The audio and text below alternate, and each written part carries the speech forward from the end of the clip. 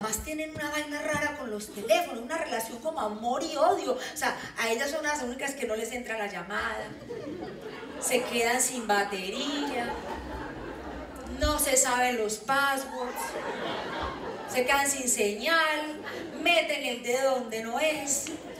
Entréguele usted a una mamá un teléfono inteligente para que vea cómo lo vuelve bruto un domingo.